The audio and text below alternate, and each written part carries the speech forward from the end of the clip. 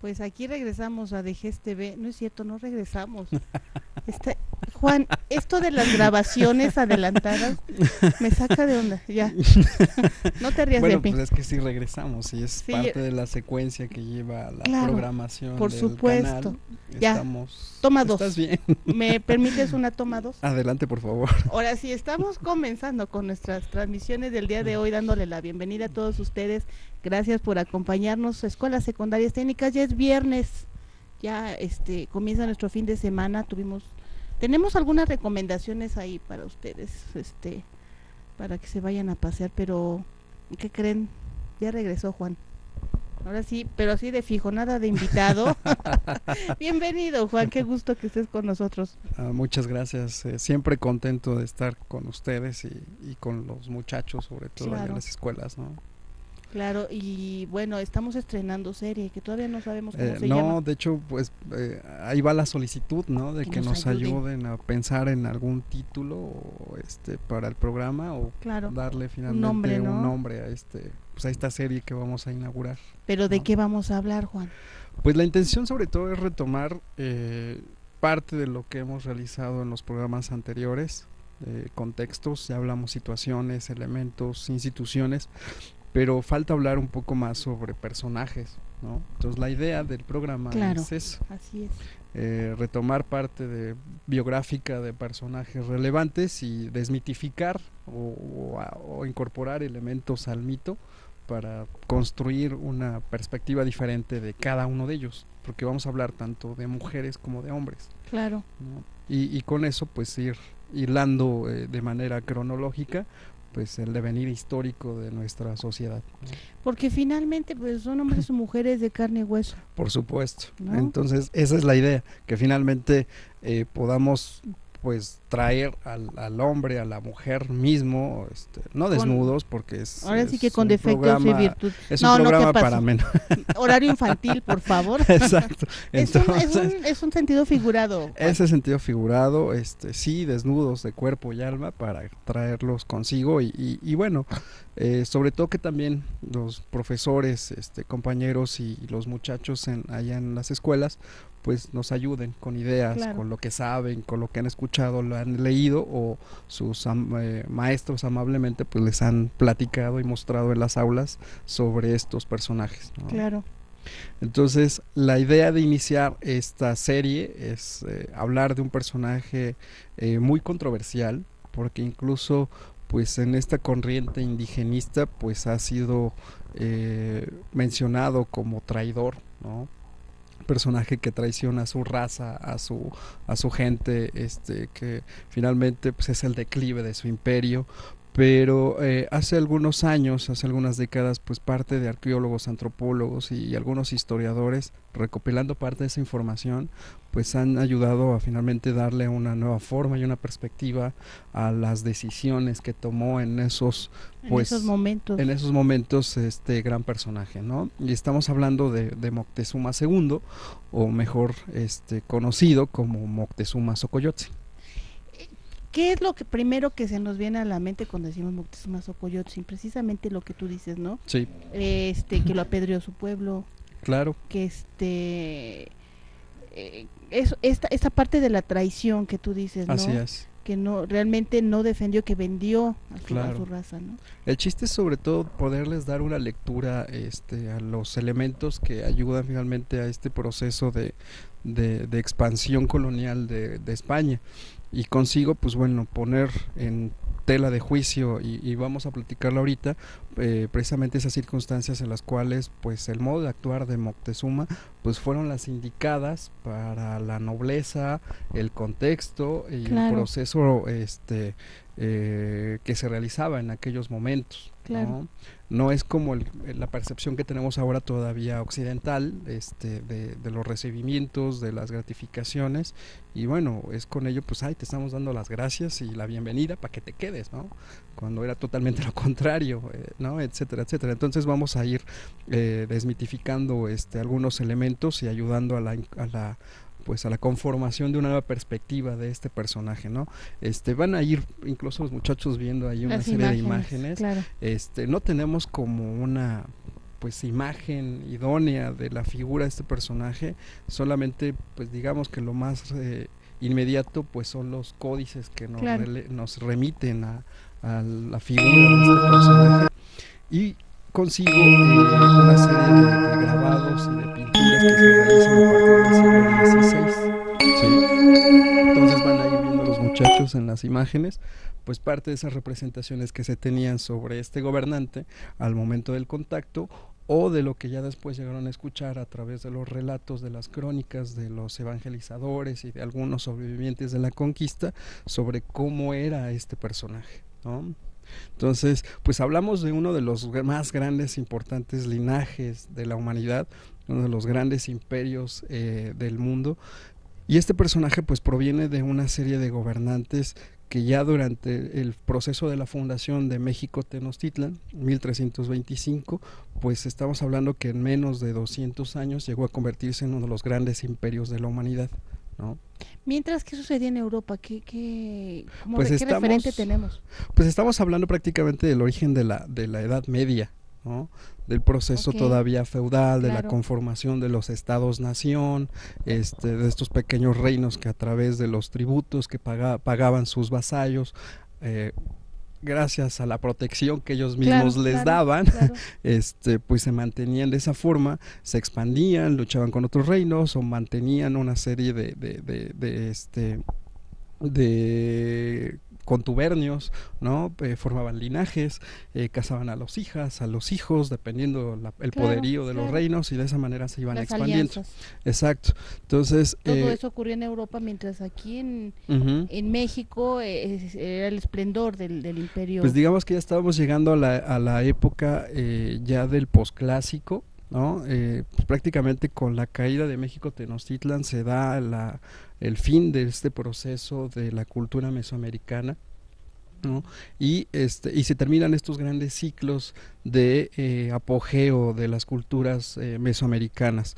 Entonces estamos hablando que pues en 200 años prácticamente en Europa pues estaban pues en, en proceso de crecimiento, de expansión, eh, del desarrollo incluso de la religión como pues la única vía eh, para la fe, la- para la- las creencias, la, la, la Para los cosmogonía. sistemas de, de vida, ¿no? Por basado supuesto. en las ideas religiosas. Exactamente, y con ello, pues bueno, el, el- el acercamiento finalmente con toda una serie de necesidades eh, para poder mantener a esos reinos, para poder seguir expandiéndose y obviamente pues eh, viene el proceso de colonización. ¿No? Este, es. las aventuras del famoso Cristóbal Colón, ¿no? Este, la llegada, el descubrimiento de América, etcétera, etcétera, financiadas por eh, los reyes de, de- de Castilla, los, los primeros reyes católicos, ¿no? En España, que incluso pues a partir de esa trascendencia, pues eh, lo vamos a, a retomar en programas siguientes, pues la expulsión de los judíos, ¿no? Así es. Vamos a ver cómo incluso pues en estas aventuras de Colón pues van a venir los primeros judíos también a América, judíos que venían escapando de esa persecución religiosa que se desarrollaba en esos ah, 1400 en España. Recordemos que España pues es- fue uno de los grandes eh, países de la persecución religiosa que se dio contra los judíos, ¿no? Durante el origen de la Inquisición. Entonces a partir de los procesos empezaron a llegar muchos judíos, este, no tanto así, este, conversos, pero sí aquellos que venían escapando finalmente de las garras de la cárcel, de la Inquisición, Claro. sí eran presos, sí eran este, expresidiarios, pero precisamente por sus creencias religiosas. Por ser judíos. Exactamente. ¿no? Y bueno, esta, esto coincide aquí en, en- con, con, eh, este personaje, Moctezuma Xocoyotzin. Así es, estamos, a- estamos eh, finalmente llegando al punto clave en el cual, eh, después de toda una serie de linajes eh, vamos a encontrar a, un hombre que viene de una casta de guerreros, ¿no? De hecho, Moctezuma Xocoyotzin eh, asume el poder ya para eh, el 1502. ¿No? Y a partir de este año, pues él es conocido como un proveniente, este, como un prominente guerrero, como un personaje de grandes virtudes este, eh, en la dirigencia, ¿no? como un gran líder, ¿no? y, lo hecho, y de hecho lo va a demostrar, ¿no? va a ayudar a la expansión, vamos a ver incluso por ahí algunos mapas ¿no? que nos van a dar una idea finalmente del proceso de la expansión del poderío eh, del, del, imperio mexica, ¿no? ahí lo pueden este, incluso poder observar un poco, es eh, parte finalmente de unos límites que incluso llegaron a llegar hasta Guatemala, ¿no? Sí, claro, Actualmente. Un, imperio vasto. Así es, pero no quiere decir consigo que fue una expansión completa. ¿No? sino que había pequeños reinos que obviamente pues no se habían exactamente sometido a este a este importante imperio como el caso de los tlaxcaltecas o como el caso de los reinos de Michoacán o incluso la misma este, ciudad de, de, de Mitla y Monte Albán en Oaxaca por ejemplo que aún se mantenía todavía en guerra constante con estos personajes, pero de ahí la importancia finalmente de darle sentido a, de vida a su deidad principal que era Huitzilopochtli, porque al tomar este eh, guerreros cautivos, presos, pues servían para ofrendarle y darle, eh, darle este, consecuencias eh, continuas a, al proceso de vida de, del mismo Dios. ¿no? Entonces tenemos a un, a un personaje muy importante, muy relevante, que para su tiempo pues llegó al punto del clímax importante de la expansión del imperio mexica. Tan solo, pues, para que lo puedan imaginar un poco los muchachos, pues estamos hablando casi a la par del imperio romano. ¿no? Tan importante. Así es, así es. De hecho, muchos antropólogos e historiadores lo comparan de esa manera y, es considerado uno de los grandes imperios a la par que en el caso del imperio romano. Entonces, eh, Moctezuma Xocoyotzin lo que va a, suceder eh, en los años siguientes, antes de, la llegada de, los españoles, estamos hablando de 10 años antes de la llegada de estos personajes, es eh, toda una serie de vaticinios y de hechos, ¿no? aquí va una parte importante, porque Moctezuma Xocoyotzin viene de un linaje proveniente de la famosa ciudad de Tolan, o Tula, como castellanamente se, se, pronunció. ¿sí? Recuerden que Tolan es una ciudad fundada por el mismo dios Quetzalcoatl. Claro. ¿no? Que incluso en su primer avistamiento, pues, y al fundar esta ciudad, él es recibido con eh, grandes fiestas, con pulque, etcétera, etcétera, ¿no? Entonces, a partir de este proceso, eh, tenemos un personaje que se va a guiar sobre todo por este dios cultural. En anteriores programas hemos hablado cómo Quetzalcoatl pues se convierte en una transformación. Es decir, eh, él es el personaje que les enseña a cultivar, a sembrar. Entonces, a partir de estas enseñanzas, dejan de ser sedentarios, este, nómadas, perdón, y se convierten en sedentarios. ¿Sí? Es, es, decir, a partir de las enseñanzas de la agricultura, les da finalmente el tiempo para poder permitirse crear la cultura, el conocimiento, el lenguaje, las artes, la arquitectura, y con ello plasmarlo en grandes edificios, en ciudades importantes, templos dedicados a, este dios principal, un personaje que incluso eh, fallece en su forma física, pero se mitifica a través de un dios es un personaje que trae consigo la, lengua, el conocimiento y que a su muerte, eh, es decir, cuando muere físicamente y se convierte en una deidad, ¿sí? Eh, pues invita finalmente a que en un regreso posible, pues va a venir a, a, observar cómo han trabajado sus descendientes en base a sus enseñanzas. Y de aquí viene toda esta coincidencia histórica Exactamente. ¿no? De la llegada de los españoles y la confusión. Exacto, incluso en parte de los de los eh, de las imágenes van a ver los muchachos pues algunos eh, eh, una imagen sobre todo que es emblemática en la llegada del famoso cometa, ¿no? y van a ver cómo este exacto. Es, esa es esa y hay otra por ahí, por favor, si por ahí la encuentran. esa mera, exactamente. es Así es. para esos momentos, ¿no? Eh, ya eh, Moctezuma había eh, tenido toda una serie de vaticinios y de encuentros con los sacerdotes sobre una serie de sueños que había tenido. ¿no?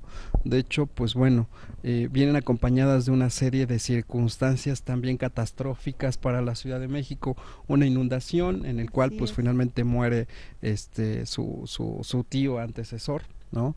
Eh, viene toda una serie de circunstancias en cuanto a enfermedades, la falta de alimento, etcétera, y, eh, y en un momento tiene un, un, vaticinio en el cual viene una estela de fuego y con ello, pues bueno, eh, la, la, famosa caída del imperio mexica. Eh, la llegada incluso de criaturas aberrantes para su momento, ¿no? Personajes con dos cabezas, etcétera, el etcétera. Pájaro con el espejo el famoso, en la cabeza. Exactamente. Eh, eh, y que ahí es donde ve la llegada de estos hombres este, montados en unos animales gigantescos muy parecidos a venados, etcétera, etcétera.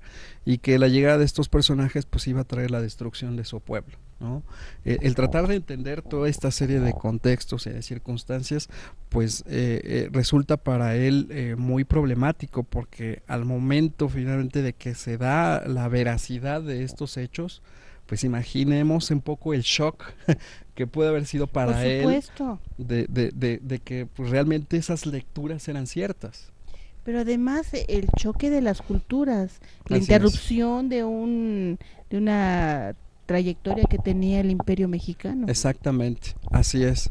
El romper de Tajo finalmente cortó una serie de lecturas y, de encuentros, ¿no? Recordemos que para 1519, que es cuando llegan los primeros españoles a, a, a, esa, a ese punto de Veracruz, que es la Villa Rica, Villa Rica de la Veracruz, que es la primera ciudad fundada por estos personajes, ¿no? Eh, eh, el mismo Moctezuma manda toda una serie de, de, de nobles para pues verificar perfectamente la llegada de estos personajes. Entonces los viene siguiendo, los viene espiando, qué es lo que hace, cómo visten, este, cómo hablan, ¿no? qué, qué es lo que comen, etcétera. Entonces, todo eso se lo van informando poco a poco y, y esa es la, alimentación que él va recibiendo de ellos. ¿no? Eh, ahí viene uno de los pues elementos que, que mucha gente ha pues tildado a, a, Moctezuma como parte del proceso de la traición o de, o de haberse rebajado a, a, la figura de estos personajes, la entrega de obsequios.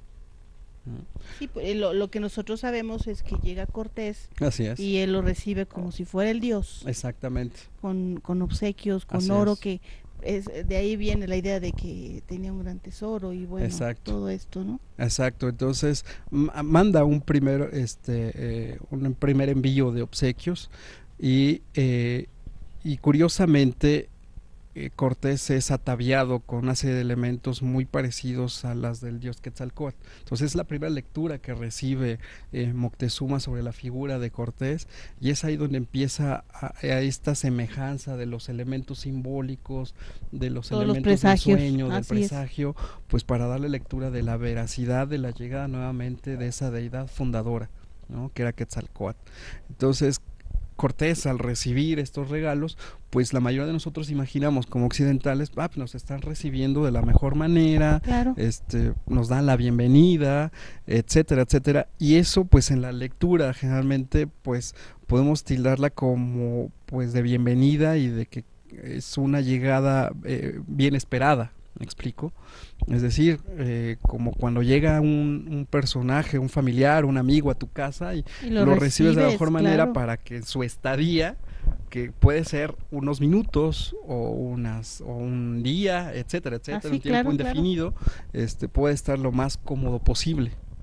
Cuando en la lectura del México antiguo era de la forma contraria el momento de ofrendar, de los sacrificios, el brindar la vida misma o esta serie de obsequios a la muerte o a las deidades, era para que se fueran contentas, para que regresaran Mira, de su propio qué camino. Interesante. ¿Me explico? O sea, está bien, llegaste, te recibo, eres bien recibido, pero ya te vas. Exactamente, te doy una serie de obsequios para que puedas irte en paz, claro. para que regreses y, y, te vayas finalmente de estas tierras tranquilo por el tributo, por el obsequio que te hemos brindado. Claro, ¿no? es esta misma idea de, de, las ofrendas a los muertos, ¿no? Así es. De, así de es. ponerles todo lo necesario para, Exactamente. para el viaje. Exactamente.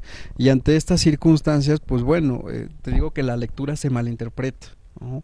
Entonces, sigue avanzando eh, Cortés, eh, ahí incluso pues ahí sucede una serie de, elementos, la famosa matanza de Cholula, este eh, Cholula pues también fue una parte de, las ciudades míticas del origen de, Mesoamérica, hasta finalmente el encuentro que tienen estos dos personajes frente a frente a las orillas de la Ciudad de México. Incluso por ahí van a ver una pequeña placa De, de esa mera, exactamente, que está allá, ahorita en el centro histórico, allá en la esquina de República del Salvador y eh, Avenida Pino Suárez, lo que fue el antiguo Hospital de Jesús, que todavía sigue en funciones. Ahí están los restos de Hernán Cortés todavía. Así es, así es. De hecho, todavía se encuentran los restos, de Hernán Cortés ahí. Sí, todavía. Un poco de polvo. Un poco de polvo, este, sí, pero todavía, todavía están ahí. ¿No? Entonces se encuentran en este eh, lugar eh, llamado Huitzilac, Huitzilán, Huitzilac. Y, eh, y, ahí es donde se nuevamente es recibido otra vez con obsequios. Entonces, imagínate la lectura, ¿no? Sí, claro, es que nosotros lo vemos con los ojos del siglo XXI. Exactamente. Siglo XX, XXI. Pero no nos metemos en la cabeza y en las ideas de aquella época. Así es. Entonces, nuevamente es recibido con obsequios Cortés, piensa que eh, pues le da realmente la bienvenida a su reino que ellos ya habían escuchado de un sitio paradisiaco con grandes riquezas, ya le habían dado una muestra de esas riquezas, con la lo reciben otra vez. Exacto, y Cortés es un personaje ambicioso que venía en busca de la gloria, de la riqueza, eh, de, la fortuna y, y, se la estaban mostrando, ¿no? Exacto. Entonces, ¿por qué no quedarse? Y quedarse con todo. Además, este, que eso fue ya parte de una decisión a posteriori, porque eh, dado los sucesos que se van a, dar a partir de 1519 eh, y con la misma muerte del personaje en que estamos hablando en este programa, pues no quedó de otra, de otro, en otro remedio que finalmente tomar y sitiar la ciudad, ¿no? Recordemos que para esos eh, años y para ese año y en los meses siguientes que va a estar la estadía de los españoles siendo recibidos por Moctezuma y que a su vez los vasallos, los ciudadanos de la ciudad de la gran ciudad de México Tenochtitlan, pues le habían dado una lectura de recibimiento, pero en la espera de ver cuándo se iban a ir. Pero si hay un momento en que, en que Moctezuma se da cuenta de que no se van a ir. Exactamente, así es. Y, y desgraciadamente es uno de los peores momentos porque cuando finalmente le hace la, la, la, petición y la pregunta es cuando Cortés decide finalmente no, no dejarlo ir y lo toman prisionero. De hecho, parte del proceso de la muerte de, de, de Moctezuma para 1520 es finalmente unos, una serie de elementos míticos. La mayoría de la historia sabemos que eh, cuando viene una, una de las celebraciones más importantes en, en, el, en el calendario mexica y que se realizaba la ceremonia en el Templo Mayor, pues los españoles creían que la población estaba conglomerándose para sitiarlos, porque ellos estaban eh, eh, habitando con el mismo emperador en sus casas reales eran las casas de estos eh, hombres mitificados, ¿no? convertidos en dioses. Entonces, cuando estos personajes este, empiezan a, despojar a los templos de sus deidades, de sus riquezas, de sus elementos sagrados, pues obviamente se ven ofendidos. Por supuesto. Y piensan los españoles que empiezan a conglomerarse para sitiarlos. Entonces, antes de, que los mexicas realmente pudieran hacer una acción o provocar una acción bélica, ellos toman por sitiado el templo y ocasionan una matanza eh, ritual en el templo, mayor. De ahí viene eh, finalmente la molestia de la población, quien sitia a los españoles en las casas del mismo emperador, del mismo Moctezuma, y donde, pues bueno, parte de la historia este, oficial, pues nos han dicho que, que, que la población es la que asesina al emperador. A pedradas. Exactamente. ¿No? Eh, eh, al tratar de, calmar a la población, de tratar de, de, pues, de pedirles que, restablezca otra vez la paz y la cordura, la gente muy molesta dicen que, llegaron a pedrear el templo y, y, a, base de, estos golpes pues asesinan al personaje que eh, pues todavía cautivo ¿no? pues se lo llevan todavía los españoles al tratar de escapar para convertirse ya en el proceso finalmente de, de este episodio que conocemos como la noche triste, ¿no? Sí, claro pero pues ya parte de las de algunas crónicas de, conquistadores y de, registros eh, se sabe que, que, el mismo Moctezuma estaba encadenado que recibió toda una serie de puñaladas en el pecho Ah, que fueron los mismos españoles quienes lo mataron. Exactamente. Pero bueno, son parte de, te digo, apenas de los de una serie de elementos y de lecturas que se empiezan a dar hace algunos años para pues darle un giro especial a la historia de este personaje. ¿no? Que todavía hasta esos años y esos momentos pues al verse rebasado por toda esta serie de vaticinios, por toda esta lectura de los, de los presagios, del hecho mismo, pues trató de llevar a, mejor término eh, eh, la caída de su imperio, la toma de su imperio. ¿no? Eh, por eso te, comentaba y te decía hace un rato, es muy complicado llegar a, a, darle una postura a, este personaje de, de, ser sobre todo traidor, porque pues estamos hablando de que pues ello hubiera ocasionado la muerte inmediata de, de mucha población. Por supuesto. Que indudablemente lo sucedió este debido posteriormente a su muerte y a las circunstancias subsecuentes que se que llegaron a, a, crearse de, después de ello con el ascenso de su, de su, este, de su hermano Cuitláhuac, su muerte con la epidemia de viruela, este, el ascenso de, de, de Cuauhtémoc eh, eh, y demás, ¿no? Entonces, este, ahorita vamos a llegar a ese punto porque vamos a, incluso pues a desmitificar también uno de los elementos sagrados que hay en la cultura mexica que es el famoso penacho. Y todo lo que se dice alrededor de él. Y todo lo que se dice alrededor de él. Pero ¿qué te parece si saludamos a nuestros queridos Así es, televidentes? Adelante, por favor. Gracias, Susi. Pues estamos aquí transmitiendo en vivo eh, para todos nuestros televidentes. Está conectada a la escuela 56 22 100 104, 113, 53, 71, 88, 91, 98, 78 y 26. Muchas gracias por estar aquí con nosotros. Y ya nos están dando dos títulos para el programa. Ah, qué bien. El primero, ay, el primero, el primero, es el primero aparece. Eh, retomando la historia, nos dice la escuela 56. Muy bien. Y la escuela 104, historias memorables de la conquista. Mm. Eso suena muy este de título como de la colonia, ¿no? Sí, exacto. Sí, a lo mejor podremos abrirlo un poquito más, porque incluso en vamos a hablar de diferentes programas vamos a ir retomando parte de algunas épocas interesantes, diferentes épocas. los vamos a ir mezclando eh, según sean los casos, ¿no? Muy bien. Y sugiéranos también que, nos sugieran ¿Qué personajes, de qué claro, quieren que, quieran conocer, recomendar y demás. Así es. ¿no? Y incluso porque les traigo una recomendación que es una revista muy interesante. Vamos a mostrarla en, que se llama las cámaras. Eh, Arqueología Mexicana y este y, y, la revista hace un número especial precisamente a Moctezuma Xocoyotzin, ¿Esta revista eh, ya es atrasada? Sí, así es. Pero este, si les interesa encontrarla y buscarla, aprovechen ahorita la feria del libro que hay en el Zócalo. Por supuesto. Ahí hay un stand. Ahí hay eh, números atrasados. Exactamente. Además están en un precio rebajado por ser números anteriores. entonces perfecto. Pues vale la pena este, darse una vuelta. Este es un número especial a la figura de este personaje. Y aprovechando que tengo el acercamiento, quiero enseñarles una imagen porque todavía el, para la época colonial quedan muchas reminiscencias de la figura de este personaje. A ver si, quieres te ayudo, claro. Porque está aquí en medio de la hoja, que es este. Sí, o por acá, exacto.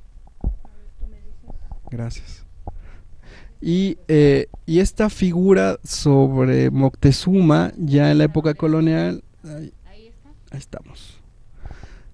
La vamos a encontrar exactamente, así es. En, la, en el otro, el otro, el otro. La de la que está en medio café en este costado, aquí, acá. Este, Perdón. Sí. Ahí no charolea, ahí está. Y este y bueno, vamos a encontrar muchos de esos elementos muy parecidos en, en formas pétreas, en construcciones y, y, edificios. Sí, todavía en la época colonial. El caso este, más inmediato y evidente que ustedes van a poder encontrar sobre la figura de Moctezuma se encuentra en las orillas del templo de San Hipólito. Ah, claro, el que está acá atrás de la Ajá. Alameda. Exactamente, sobre Reforma este, y, y Metro Hidalgo. Puente de Alvarado. Metro Hidalgo, exactamente. Entonces, recuerden que ese es el sitio mítico este, donde los españoles pudieron haber finalizado su campaña. En este proceso que estamos hilando de la noche triste. claro, por ahí precisamente salieron. en así ese es. punto, ¿no? Y es ahí donde míticamente, este, en ese, en esas orillas de la Ciudad de México, del islote que estaba conformado para aquellos años, arrojan el cuerpo, arrojan el cuerpo de Moctezuma para distraer un poco a estos guerreros que, este, pues, a- eh, pues, a- a- alimentados de sangre y de Claro, violencia claro, por el insulto que habían sufrido, pues siguen persiguiendo todavía a los españoles. Entonces arrojan en esa, en esa orilla al cuerpo de Moctezuma y, y ese elemento pétreo y esta figura, pues la, la encontramos todavía ahí grabada, ¿no? Entonces el rescatar parte de la historia de nuestra ciudad, Claro. este, de la historia, de los mitos de este Sí. proceso, Y es tan, nos lleva a eso. bueno, me parece interesante que los chicos vayan y sepan que ahí sucedió, ¿no? Así es, así que es. hoy tenemos otras construcciones, otra vida, pero que todo eso fue real y, es. estuvo allí, ¿no? De hecho, durante la huida de los españoles, muchos llevaban ya cargando pues lingotes de oro de Sí, las claro. deidades, de los elementos que habían robado, que allá habían fundido, este, para poder llevarse esas, esas riquezas, pues se quedaron enterradas en el fango, ¿no? Por aquellos que la avaricia de no soltar nada, pues se hundieron junto con ellas. Sí, ¿eh? qué barbaridad. Entonces, eh, cuando viene la reconstrucción de esta zona de, de- de la Alameda, ya después de la continuidad que le van a dar a Paseo de la Reforma, Antiguo Paseo de la Emperatriz, este, la continuación del metro, Hidalgo y demás, eh, parte de los registros arqueológicos se encontraron muchos elementos de concordancia sobre este Claro. mito, sobre esta historia, sobre esta leyenda, donde da veracidad finalmente a que sí es un sitio histórico del hecho del inicio de la noche triste. ¿no? Y el famoso puente de Alvarado. y el famoso puente de Alvarado, que obviamente pues estamos hablando de que el camino eh, de continuación que era Tacuba hacia ese lado Claro. este poniente eh, llegaba hasta hasta el, hasta el mismo poblado de Tacuba precisamente entonces imagínense desde esa orilla de, de Reforma hasta más o menos a la altura del metro Tacuba No, pues, esa claro. era prácticamente la distancia que había de agua todavía de la Ciudad de México hasta tierra firme, aproximadamente. ¿no?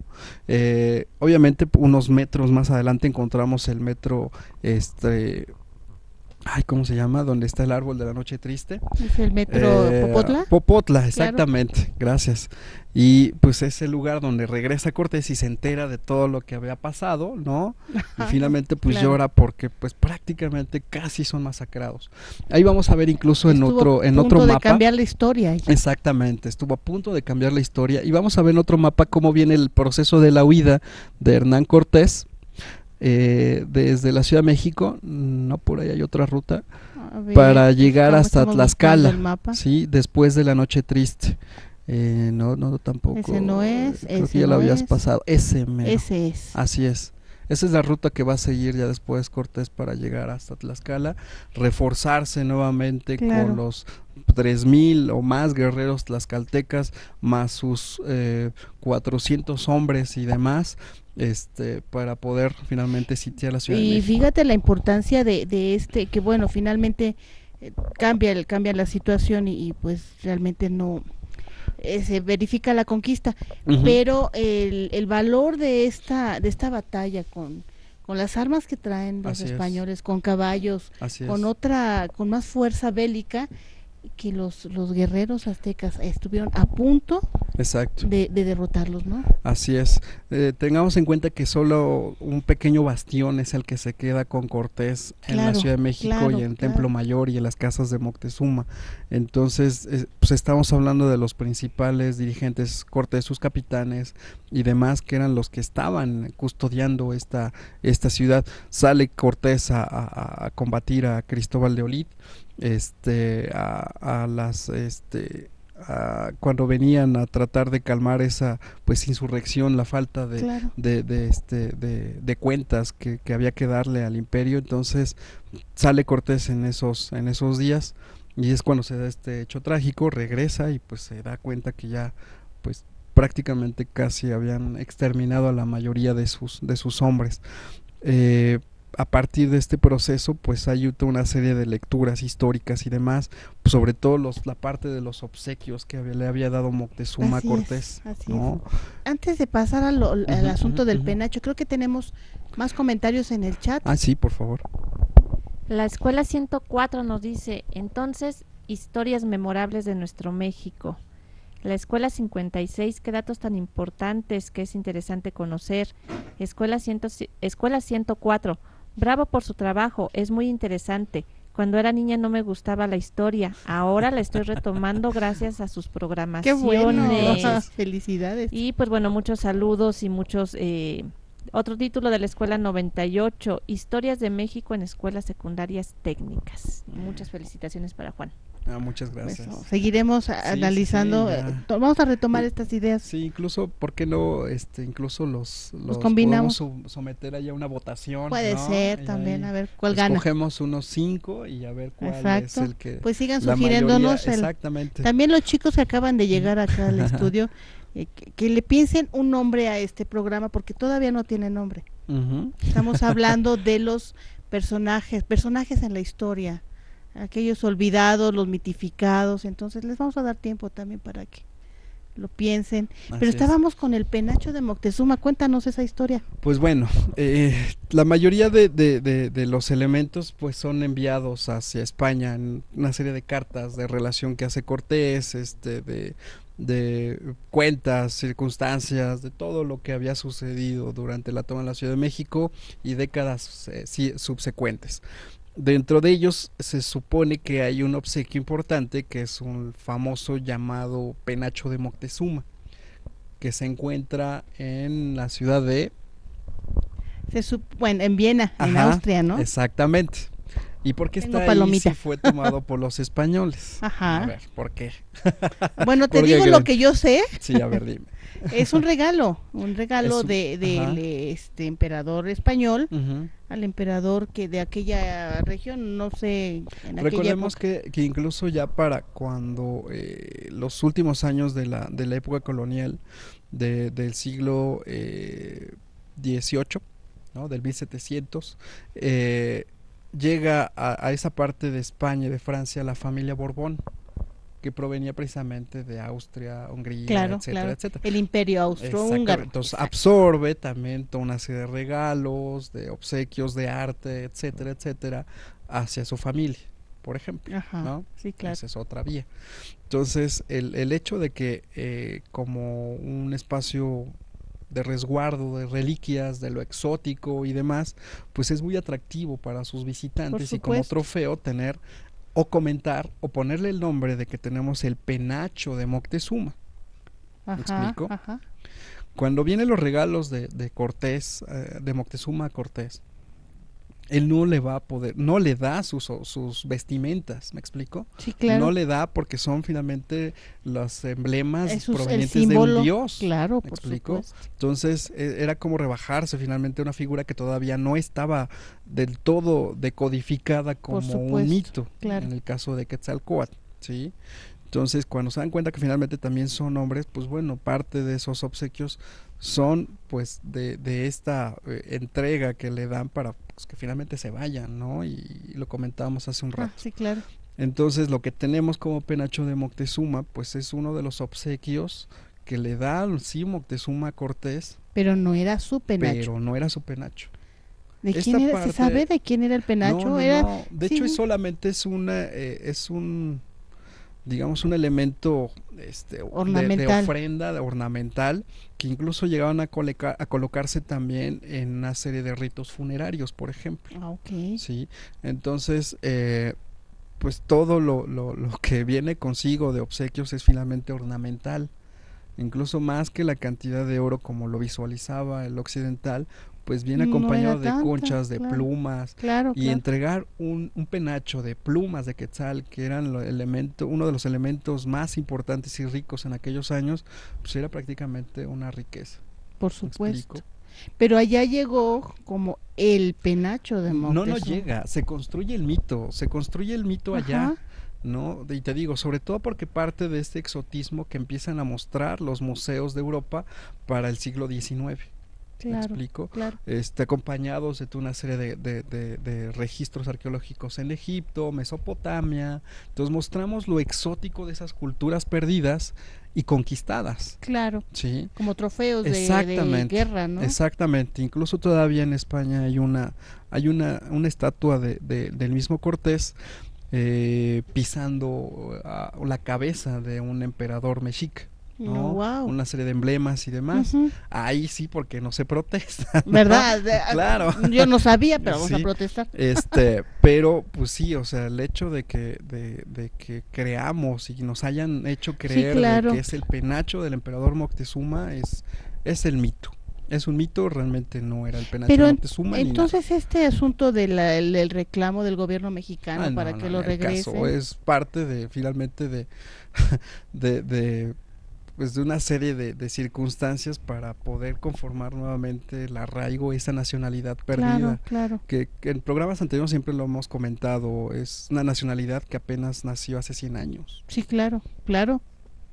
construida con estos elementos, Sí, sí, sí. con esta perspectiva histórica hacia las culturas antiguas, es- destrozadas, eh, destruidas, y con una serie de circunstancias de comunión como es el himno nacional, la bandera, los emblemas nacionales, los personajes, los héroes, los villanos. Así es, así es apenas 100 años.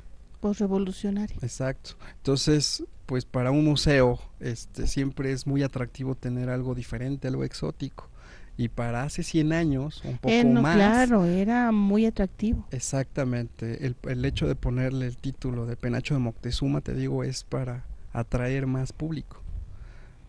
Pero nos, esto llegó hasta acá, todo mundo, yo creo que el Ujú. 98% de los mexicanos, ya, ya me pasé del otro lado, Sí. pero creíamos y estaba que es- censurado, y estaba censurado, Claro. digo, sobre todo por este proceso de Esa foto todavía es de la- preciosa, esa que trajiste en blanco Sí, y negro. eh, este, sobre todo para ver los contrastes. Claro, porque la siguiente ya es a color, es Ese, esa- ese emblema este, de las de los eh, gentes campesinas que vienen a visitar el museo eh, eh, es una lectura muy interesante porque ellos están viendo de lo que habían escuchado Claro. de ese gran claro. señor, del portador, supuesto portador de ese penacho y de un imperio perdido. ¿Me explico? Oye, oye Juan, ¿se podría conservar eh, siendo plumas de sí, ave? de hecho, ¿Se pueden conservar ajá. tanto tiempo? Sí, sí, con un buen cuidado en la conservación de esos materiales se pueden conservar. De hecho, la plumaria es uno de los elementos que mejor se pueden preservar mira. orgánicamente en la actualidad. De hecho, hace poco hubo una, una serie de conferencias sobre la restauración del penacho en, en el Museo de San Ildefonso, que, que, bueno, desgraciadamente, a mi parecer, este, me parece que todavía alimenta la, viveza de esta creencia de que es el penacho auténtico del emperador o del Tlatoani mayor que es Moctezuma.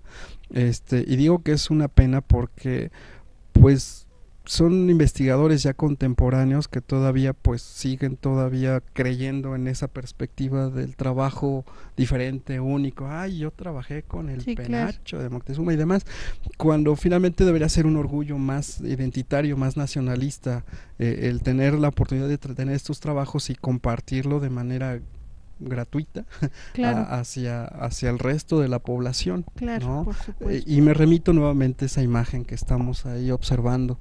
Es finalmente esta conexión que tenemos con nuestra historia a través de los museos. Los museos deben de tener ese elemento comunicativo inmediato, de una Claro. lectura rápida que te puede llegar a identificar o a tener esos contrastes con lo que eres o lo que no eres, por supuesto. pero a partir de tu contexto inmediato, ¿no? Esa es la descendencia que va a dejar Moctezuma por supuesto. aquí, Pues porque sí. la que está en Europa todavía sigue vigente, hay familia todavía descendientes descendientes de. Moctezuma que son condes, que son este marqueses, todavía de linaje importante en España. Hay una novela preciosa, La hija del judío, Por ejemplo, ¿no? sí, Que habla precisamente de ese linaje. así es, así es. Bueno, sí, que esa es también toda la parte y todavía de la historia oculta que no se ha podido escribir correctamente o darle esa difusión correcta. Hay mucho, mucho que no sabemos. Así es. Eh, bueno, pensando en lo que tú mencionas, Ujú, ¿no? La ujú. investigación, el rescate de documentos, de, de, de situaciones históricas, hace, nos hace falta mucho Por trabajo. supuesto. Por eso la apertura que hace apenas unos 15, 12 años empieza a ver hacia la investigación, de empezar a desmitificar esa lectura, de darle contraste, porque la necesidad del crecimiento en el conocimiento es lo va llevando finalmente a esa necesidad de acabar con lo mítico. Por ¿no? supuesto, ¿no? Lo, lo malo es pues parte de esta ruptura que hay ya con la filosofía, con la historia desde, pri- desde preescolar, desde la primaria, Porque sí, se rompen muchas ideas que tenemos arraigadas, ¿no? Exactamente, exactamente. Y que todavía como papás pues, de estas generaciones, pues eh, les seguimos enseñando, inculcando a los niños, ¿no? Un correcto saludo, a los elementos cívicos, a las Sí, sí, ceremonias, claro. los, los momentos correctos que hay que guardar, que, que, que yo considero importantes, pero hay que situarlo en su justa dimensión. Exacto, exactamente. Bueno, yo, se me ocurren ejemplos de otra, de otra área, ¿no? Pero por, por ejemplo, cuando yo estudié en la primaria me dijeron Ajá. que Plutón era un planeta. Y Claro. después me dijeron que siempre Así no. es, ¿no? ahora ya sabemos que no, entonces Entonces, nosotros vivimos Sí, Pues ahora con aquel proceso mítico también de la construcción de estos planetas, Claro. ¿no? y vemos que el conocimiento no es absoluto. Así es. cambiando. Así es. Aún en las mismas ciencias exactas también. Así es. ¿no? Y bueno, y más aún en, en el, en el rescate Ajá. de personajes a través de fuentes que son muy complicadas a veces, ¿no? Exacto. Por eso lo importante, la importancia de la investigación, de la continua lectura, del análisis, de, de- de- de crear las verdaderas hipótesis a base de documentos, de registros que, que puedan llevarnos a la construcción de una verdad, de una verdad este, cuestionable también. ¿no? Pero más cercana. pero más cercana, exacto, y, y- y que no pueda eh, pues incorporarse a una serie de, de- de programas o de políticas pues que son simplemente sirven como para, para, para manipularla y transmitirla Claro. de una manera incorrecta, errónea, pues para el sometimiento de grupos, ¿no? Ah, ya me estoy hablando como comunista, Ya. Sí, es lo que te iba a decir, ¿qué te pasó? Me cambiaron a Juan en dos minutos. pero sí es Y, importante. y- y la divulgación. Juan, la divulgación de estos nuevos es. conocimientos, ¿no? Exacto. Y que nos interesemos, eh, no solamente digamos, bueno, es importante tener nuestro libro de texto, ¿no? Claro. Pero si vamos a las fuentes, si vamos a los exacto, museos, y si hablamos con las personas, ¿no? Así es. Sí, hay muchas ahora, incluso conferencias de especialistas Así en los es, mismos al museos, alcance, en las libre, instituciones. ¿no? Exacto. Entonces, como siempre lo hemos comentado también en los programas anteriores, pues el- el- el- la actitud es acercarse. Así es. Finalmente hay que tener una actitud para nosotros de ser coherentes con lo que somos y con lo que representamos también. ¿no? Así es. Pues qué interesante inicio de serie, Juan. Sí, y, y- y bueno, vamos a tener una- también una serie de personajes este, interesantes, polémicos. Como a este, quién tienes en mente. Pues mira, tan solo, este, incluso estábamos pensando si darle eh, continuidad a este tema con la famosa Malinche, Por supuesto. este, también desmitificarla un poco. No era tan mala como dicen por allí. Eh, también eh, hay que situarla en los contextos. Por supuesto, ¿no? o sea, re- reaccionamos de acuerdo a lo que estamos viviendo. Exactamente. Eh, personajes incluso ya coloniales, algunos artistas, incluso pues eh, eh, personajes incluso que también podemos hablar que son políticos en, en ciertas dimensiones, que, que llegaron a, realizar alguna serie de transformaciones en la ciudad, este, en fin, ¿no? O sea, estamos hablando de un abanico realmente inmenso y de personajes claro. que a veces ni siquiera conocemos, pero lo hemos idea. escuchado Ajá, porque llevan el nombre de alguna calle o algo así, de algún Claro. parque Por ejemplo, la famosa Delita, ¿no? También. ¿No nos vas a hablar Así de la es. Delita?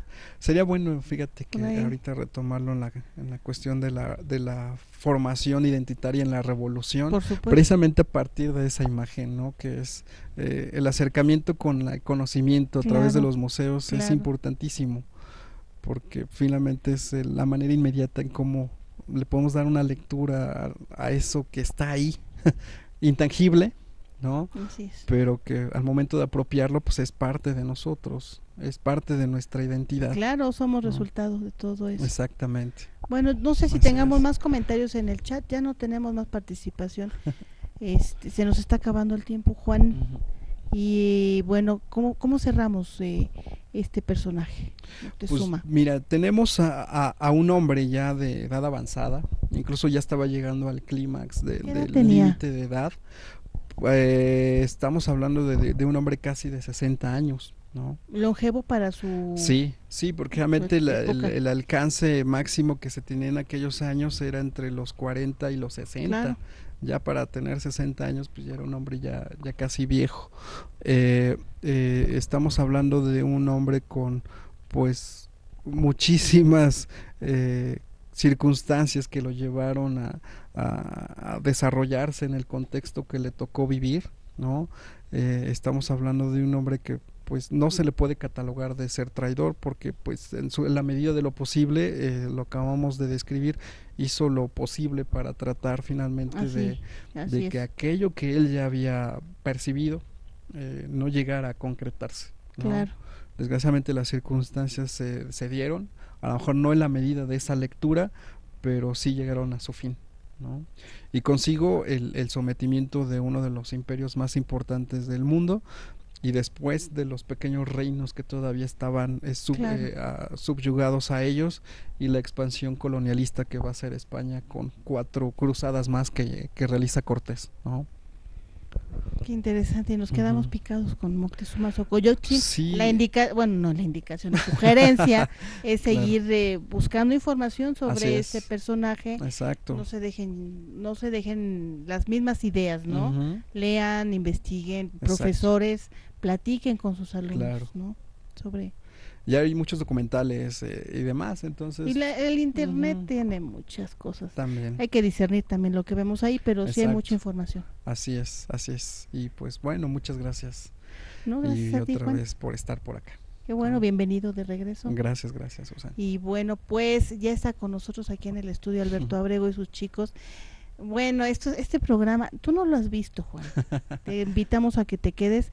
Es el tercero, Alberto, Mm. Ventanas de México. Ay, es una vueltecita a los estados. ay qué bien Música, danza, trajes típicos.